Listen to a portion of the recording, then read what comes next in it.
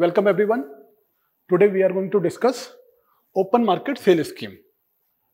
Okay, recently it was in news.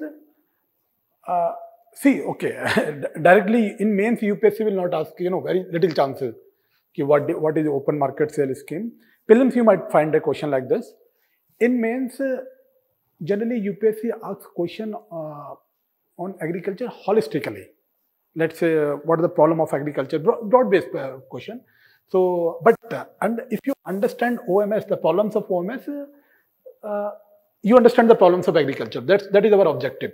So we will uh, discuss what, what what is happening in OMS nowadays, what OMS is, and how we can relate it with the other problems of agriculture. Fine. So what is uh, open market sale scheme? It is a scheme run by uh, union government, uh, uh, and what the and generally FCI does it. Let's say there is a some excess supply, you know, excess stock of food grains. You know, India has to maintain buffer stock of food grains, right? Why, why any country has to maintain buffer stock? Let's say there is some pandemic, famine, or some vagaries of monsoon. So you have to supply food. So for that, buffer stock is very, very important, right? Now, buffer stock, like any other stock, has two cost. One is the carrying cost, one is the ordering cost. Carrying cost, let's say I stock some inventory or some food or some grain in a, in a warehouse. So you are maintaining it. You have to preserve it. There are cost involved. So these such costs are called carrying cost. Carrying cost, right? Because you have to st- stock, st- you know, stock. Let's say if you do not maintain that stock, so that, it is called uh, stock out cost, right? Uh, stock out cost, or maybe you have to order again ordering cost. And what would the what would the cost in uh, in the case uh, in the case you do, India does not have uh, food grain? People will you know people will feel hunger, right? Um, the problem of malnutrition will rise.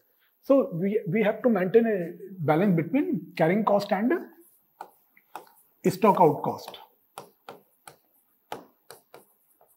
So generally, whenever uh, there is excess supply, what what uh, uh, FCI will do through open market sale scheme. This is an e-auction, e-auction, uh, and it is done through NCDEX platform. It is a platform. Uh, okay, to tell you the technicalities, uh, you know, Department of, uh, uh, you know, this uh, FCI will, you know, release a circular that we are conducting e-auction and so and so date. Generally, it is done every week, and the main participants are uh, bulk traders, uh, wholesalers, FAOs, it's, uh, states. You know, although you know nowadays states are facing problem, It states also participate, and uh, generally, generally I don't say always. Generally, the prices are something above than MSP because the government has to maintain right uh, MSP for farmers. So here uh, they are selling in uh, open market. So they have to uh, they have to put uh, the price something above than MSP. Fine. So this is the mechanism. Uh, let me read. You know what the official website sa- says about uh, OM- OMSS. It says. uh, okay.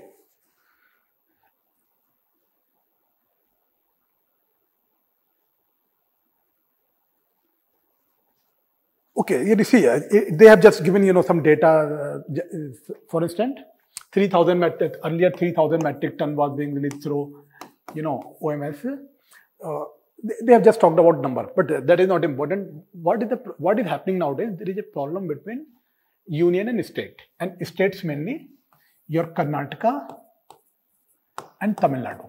What these two states are. Recently, what the union government did, see, in mains examination, try to use the word union government rather than center. If, if you uh, if you've gone through National Constitution Review Commission, and uh, I think it will also help you in GS2 paper. When you use the word union rather than center, you know, union include, uh, you know, union is a more positive term. When you say center, it's look, uh, you know, so uh, what the union government decided that they restricted the participation of states. And Karnataka and Tamil Nadu raised the objection. They said uh, they said it is mainly for the political region. And why they would say that? Because the governments are different in uh, at you know union and center. But what the union government said, it is uh, mainly to fulfill their obligation under National Food Security Act. You know, under National Food Security Act, uh, India has to provide food to almost 80 crore, 80 crore entitled uh, beneficiaries. And, uh, and it is a statutory obligation now. National Food Security Act is an act. Okay. So they said uh, we have to maintain, uh, for, so that, that's why we cannot release. What the Karnataka and Tamil Nadu said, okay, they also have a targeted PDS scheme, targeted uh, PDS scheme and uh, other welfare schemes. Okay, other welfare schemes. But what they said, we do not have, we are not getting sufficient quantity of grains to uh, provide subsidized food to vulnerable section. That, that's why they raised the objection uh, because they cannot buy food from uh, under this OMSS because the union government has you know restricted their participation. So this is the main thing.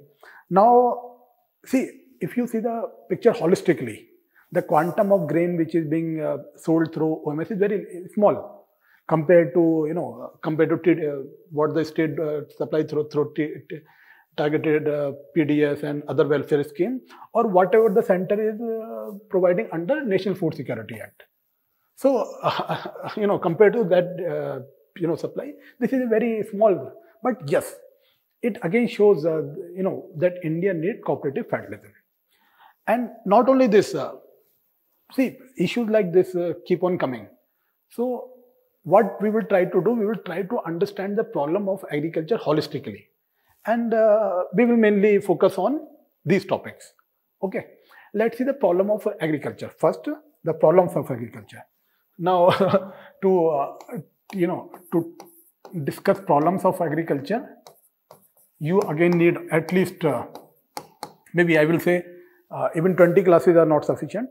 But yes, you can uh, talk about the main problems the one of the major problem is only 18% of GDP comes from agriculture, right? And if you if you are following economic survey at, uh, 2023, almost 48% population is dependent on 18% of GDP. Can do you see? Is it sustainable? No, it is not sustainable at all. How how it, it is possible? And uh, not only see India is uh, now you know uh, according to World Bank, India has attained lower middle class status, right? Or lower or mid, upper middle class. I think it is lower middle class, not, not yet upper, upper, upper middle class, upper middle class status. Uh, oh, sorry, not class, income. Income status. And it, it is official recognition. So as India will keep on moving uh, into higher income group or become developed countries, this uh, ratio is going to vary. For instance, let's say in USA, what is happening? In USA, country like USA, you have only 1 to 2% of farmer, you know, people in agriculture. Okay, and uh, contribution is GDP also. So, but again, those farmers are also in problem. So, do you see as the countries grow, you know, uh, develops, their uh, agriculture contribution to GDP will decrease and the percentage of population increase in, uh, involved in agriculture, that will also decrease. So this ratio is going to be, you know, uh, again decrease. So what, what is the solution? Let's say if you read uh, uh, Ashok, uh, Dr. Ashok Dalwai committee, Ashok Dalwai committee, you know, it, this committee was on doubling farmer income, right? So uh, there was aim to double the farmer income by 2022, right? Uh, God knows it's now 2023 already. They have written 14 volumes. 14 volumes they have written. Uh, it, this report is available on, uh, you know, uh, agriculture, uh, Ministry of Agriculture and Farmer Welfare. Now, the see, the, in 2015 they also changed the name. See, this shows the intent. It is not only Ministry of Agriculture now; it is Ministry of Agriculture and Farmer Welfare. That's why the farmer welfare becomes so important. So, in these 14 uh, volumes, I would recommend you to invest time in volume 2 and volume 8. Right? That is my suggestion. For me, I'm sure uh, for mains, here it is going to help you. Now, uh, see again, what are the recommend? Here we cannot go into all those things. See what my objective is. When you invest time on the, on those reports, you take out you not copy, you lift paragraphs and put in your notes. You revise it three, four times. Those thought will get deep, deeply embedded in your mind. Along with this, you can do Dr. Ramesh Chand. Dr. Ramesh Chand. He is a member of Niti Aayog. Okay. he has written a paper on doubling farmer income.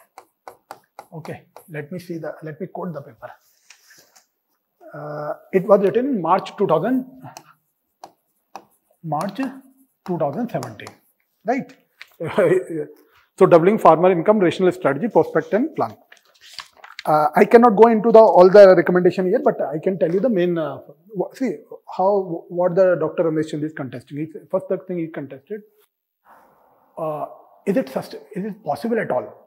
You are saying you are going to double the farmer's income. So he calculated. He said this will require at almost 14-15% of growth in agriculture. Is it possible? Has India ever witnessed 14, 15 culture, 14, 14, 15 percent of growth in agriculture? No. So this goal itself was, you know, a little bit problematic. Second thing, uh, he's saying, what kind of income you are trying to double? You know, real income, nominal income. Are you considering, you know, inflation, uh, in inflation as well? So this thing. Then uh, here also emphasize that uh, to, see, in two ways you can increase the income. One is input cost, reduce input cost, right? Let's say the cost uh, cost of fertilizers, pesticides, and uh, moving towards zero budget farming. Okay, sustainable agriculture. This is the way you reduce input cost. Second thing, okay, MSP is there. Yeah, you know, you, you, you have to pro, uh, provide, you know, uh, remunerative prices. But he said, try to increase the width, you know, length and, uh, you know, coverage of MSP uh, that is another thing. And uh, one more important uh, approach is what the FAO called move up. And I think this is the most important thing move up and move out. Why? See, let's say within agriculture, people, uh, small, the problem is uh, who, is, who is suffering more? A small and marginal farmer. If you read uh, national for, for see, I will recommend, you know, student writing means invest time in national farmer policy. In this language, you have to write your main answer. Okay. And do not think it is an old policy. No, no. See, policy document, whether it's a, uh, read ag agroforestry policy. Try to lift passages and put in your notes. When you invest time, they have gone into detail. They are saying you have to enlarge the definition of farmer. What, what do you mean by farmer? Not only small and marginal farmer, tenants, laborers, they should also be included in your uh, farmer definition. Okay. Now, concerning farmer definition, I want to tell you one more thing. There are two important uh, surveys raised by NSSO. Okay. these two, uh, one is key indicators of agriculture. Key indicators of agri household. Okay. आपका इसमें 2018-19 में I think 17 or 18 में there was a question in prelims that how many percentage of uh, GS1, how many uh, uh GS1 prelims question paper, how many percentage of people of OBC are involved in agriculture. So try to some invest time in there, and these are the very authentic uh, sources. It is led by MOSPI, Ministry of uh, Statistics and Program Implementation. Second report, second survey came in 2019. Very important. It was a uh, situational uh, assessment survey. Okay, situational situational assessment of agri household okay 2019 please uh, you know uh, इसमें जो chapter 3 है key findings key finding of the report hardly 10 15 pages hai but if you can you know uh, it's it's not data it is key finding if you can put that uh, data in your mind if you can relate it you know one one problem with another and write that in your essay, mains copy or while interview, if you can, you know, link the problem. I'm, I'm pretty sure if you will invest uh, in time uh, in document like this and the chapter given in economic survey or papers like that written by Dr. Ramesh uh, you will do well. See, without agriculture, without knowing agriculture, you cannot succeed in UPSC. it, it, it will catch you in a essay, it will catch you in a GS economy.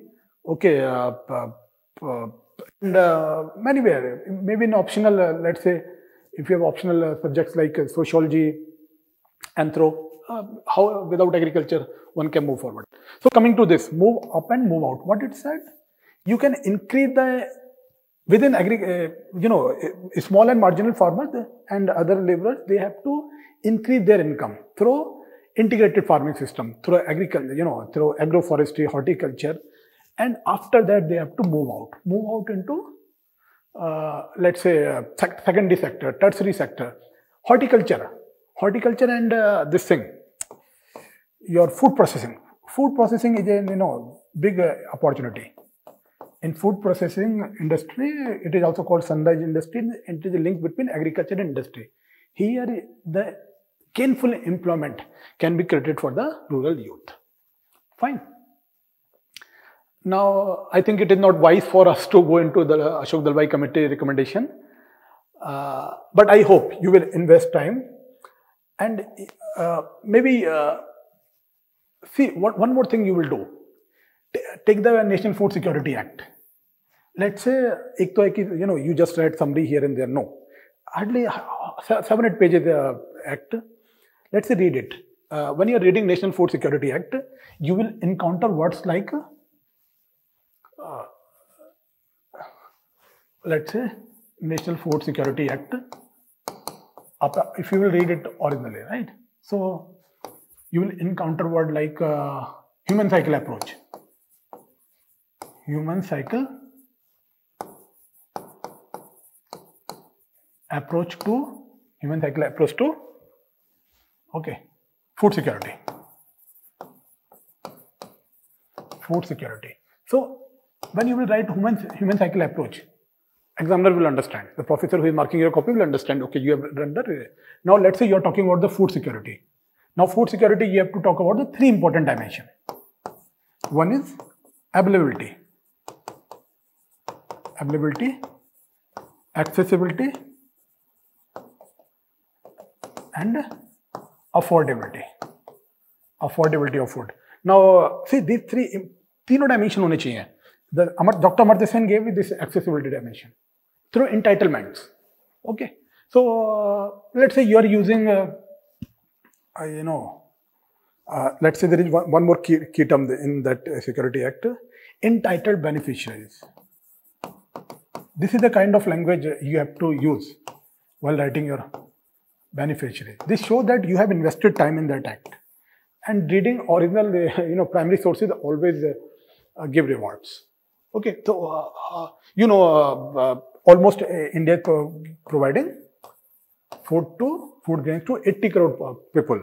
And now you understand, let's say when the union government says, under OMSS, we have to fulfill the obligation of, you know, National Food Security Act obligation. This is a statutory obligation. So uh, union government might be, uh, you know, might be, you know, uh, has to fulfill that obligation. So there might, might not be sufficient grain to sell under OMSS. Okay.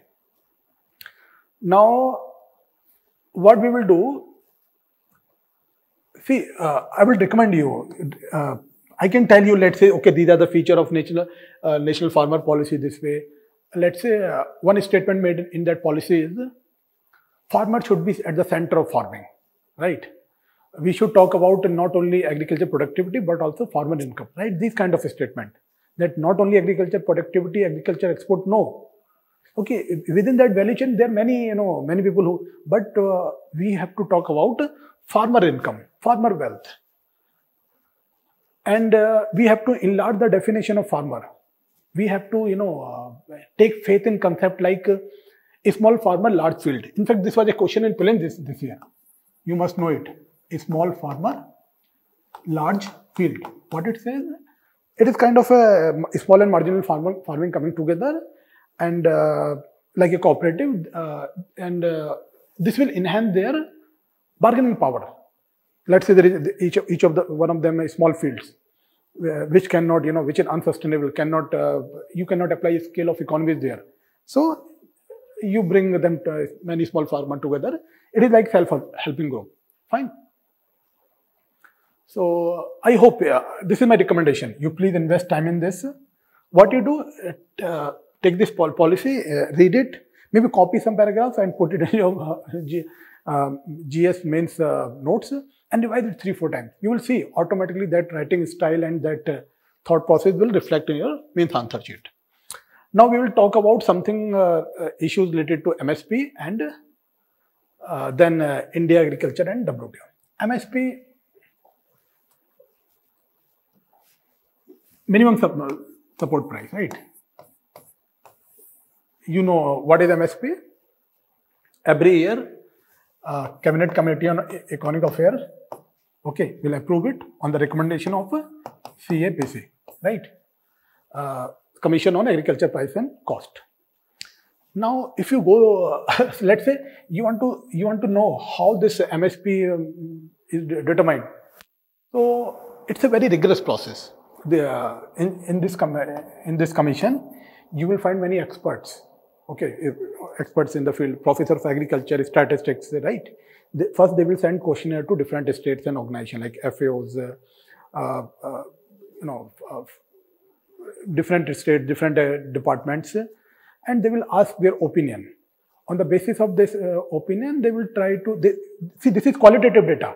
Then they will also do quantitative work. They will see, okay, th this year this was the production, this was the. So they try to mix both quantitative, quantitative and qualitative. See, even your uh, when when you do forecasting, let's say some, there is a student of operation management. How do you do forecasting? In forecasting, you uh, you have both kind of tool quantitative and qualitative. Qualitative tool is one of one like a name method, Delphi method. In quantitative methods, uh, you know, moving average is there, then trend method is there. Okay, exponential smoothing is there. So uh, they do all, they apply all the all the mathematics and the economics here, and they try to get the MSP for 23 crops. Okay.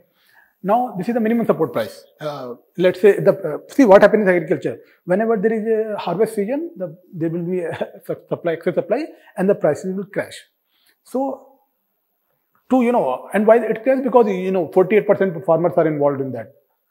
Uh, so, to give them the minimum uh, income, this MSP is important.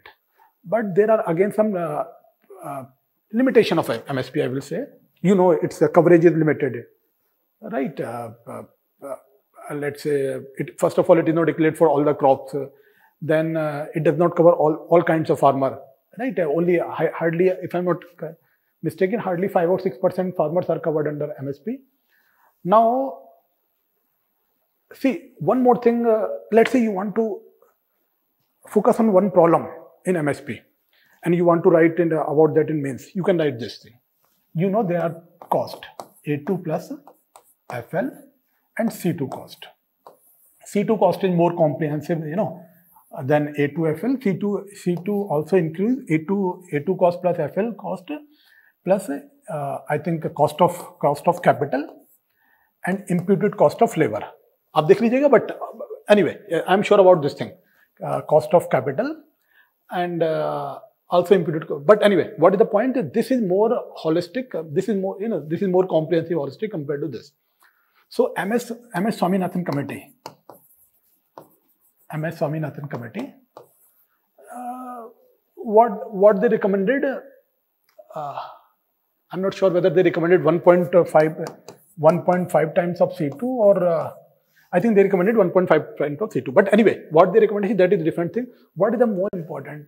Let's say one thing you have to know generally when MSP is decided it is generally 1.5 times of A2 plus FL.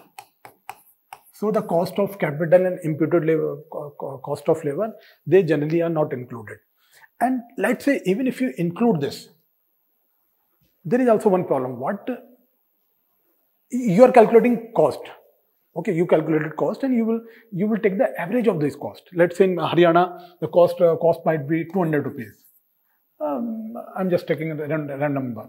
In Odisha, the cost might be 220 rupees. Okay. In Tamil Nadu, the cost might be uh, 110. In JNK, cost might be 190.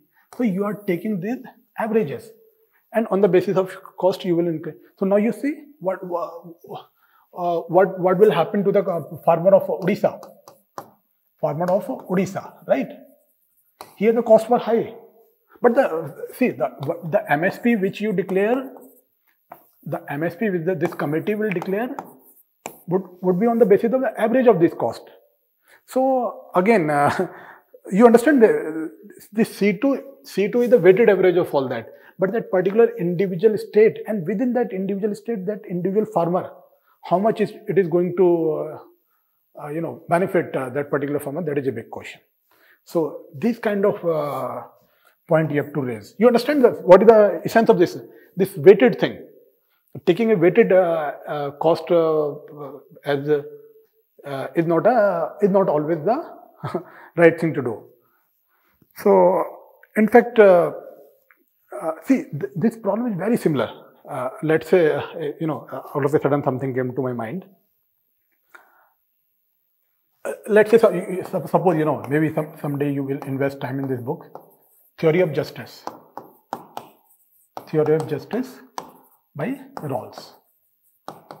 He talks about, you know, social justice and here uh, he talks about, uh, it, it is mainly, I will not say, it is against uh, Tyrion or Bentham, right? it is, I don't say, you know, against, but it is uh, try to, you know, uh, find uh, some, uh, not even deficiency is not the right word, maybe try, try to make, uh, you know, try, uh, try to find some drawbacks, drawbacks in utilitarian concept of Bentham. So, Professor, you know, John Rawls, he talk, here he talks about a concept like uh, original position, right? Original position and uh, difference principle. Okay, difference principle. And he talks about max min. Max min. Okay. So, see what, what, what I'm trying to say. Let's say there is a function 7, 8, 10, 0. You have to find uh, uh, you have to find the maximum of this. So what is the maximum? Maximum is 10. So uh, let, us say these value 7, 9, 10 and 0 came from the, these uh, four values came from the, there were four functions. You took the minimum of those. So those minimum, uh, let's say this is function 1. Its minimum is 7. Function 2, its minimum is 9. This way first you calculate the minimum, then you are trying to take the maximum. So your maximum is 10. So now here also when, see what my point is, here they are talking about the social justice. Here the emphasis on the, you know, dignity of individual. Here the, in utilitarian, it is mainly about the weighted average. Okay, mathematically if you say it is only about the weighted average, here it is talking about the individual. So, and when they do, you know, when you turn pages after pages, when you read them, so they debate on this function, maximum. Why I raise this point? Point this max min. Uh, okay, see, just now you saw this, right? The pro what what, what was the problem? Uh, this uh, weighted average problem, right? The far farmers were, uh, you know, you, you saw this thing uh, that when the CAPC took uh, C2 as average. So the individual farmer was suffering. So that point is very much similar, you know, same way stated here. Now, you, now, now can, can, you see two different dimensions? Here we, we are talking about the, uh, you know, justice, uh, political justice, social justice. And uh, he, there also, it is about justice only. Because you declared C2 cost and it is a weighted, cost. But what about um, my particular state? what within that particular what about the individual farmer he might he might have even own more cost so uh, that is the problem with the averages so averages are good but not always good fine so uh, sorry you know it's not it is not the right time that we, we will go into that but yes what you can do if if you remember in 2016 or 17 UPSC and GS4 I think they asked what do you understand by the social justice concept of uh, John Rawls? When you read politi political theory book of uh, political theory book NCERT, uh, uh, there is a wonderful chapter, uh, social justice, and uh, I, I, think chapter name is justice. So there you will find this mention. But let's say if you want, you can devote some time in first, at least first two chapters of the theory of justice, and I'm sure it is going to pay reward in your essay or sure, you can compare even in GS4. Fine. So now given this thing,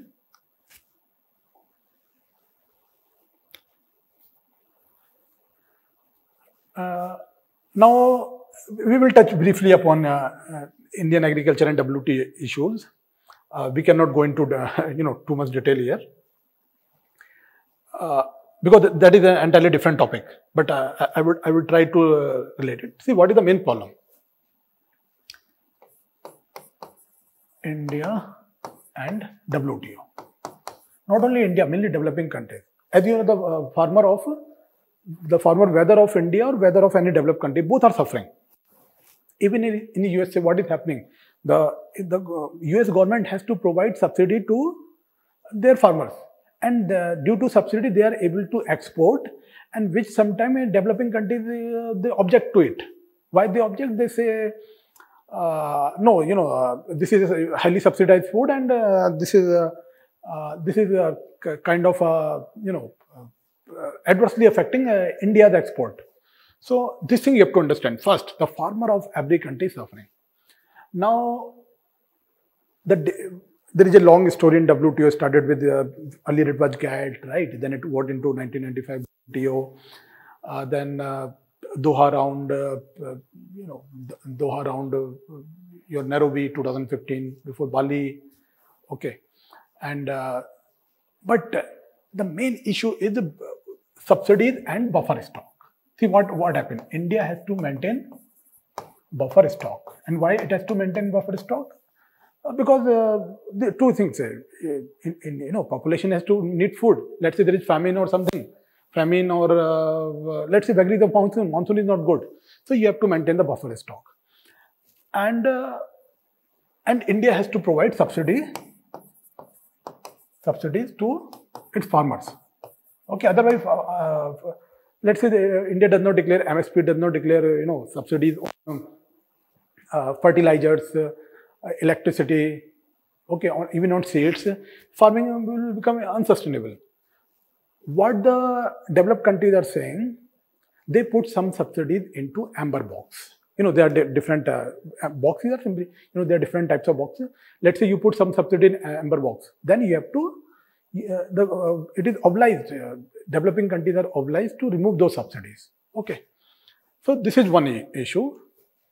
Buffer stock, uh, again, uh, uh, let's say if, if you maintain buffer stock, here also there are some issue. Now, it's not the right time to uh, go into all those things, but three important things you must know. First, one thing came peace clause. Peace clause in 2015. I think it was came in Bali. Okay. Then you must know also something about, you know, within AAO, all these things are under AAO, Agreement on Agriculture. Okay. So another thing is transparency clause. And third thing is dispute resolution, uh, dispute settlement body. Okay dispute settlement body. Now, you understand, uh, uh, you know, developing country side, uh, you cannot provide subsidies and the subsidies will come in under uh, amber box. And uh, uh, within, you know, see, WTO, you, you must recall that, that WTO was not established under Bretton Woods, but it was an outcome of Bretton Woods, more or less, right? Uh, that is an entirely different sto story. So here you have general obligation. Here you have some something uh, some things are called general obligation, like uh, most favored nation.